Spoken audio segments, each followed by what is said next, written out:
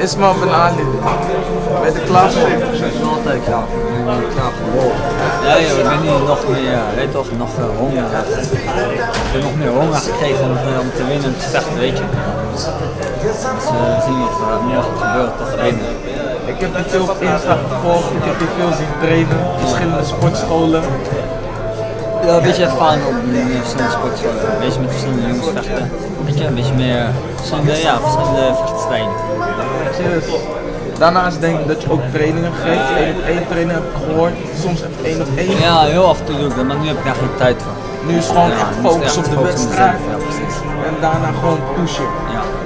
Ja, later, later, dat ik één heb ik veel les gegeven, dat ik een beetje goed les gegeven, weet je. Een klein groepje, maar nu is het eh, meer focus op mezelf. Wat wil je tegen de mensen zeggen die je vanaf dag 1 hebben gesteund in eh, jouw zware tijden?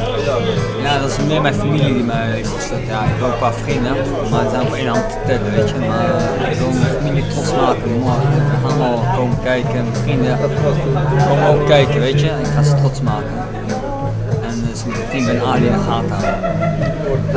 Ik eh, mag morgen alleen de winnaars ondervragen. Dus uh, dan uh, ondervraag ik me nog weer. Ja? Ja. in de gaten jongen, team Ben Ali.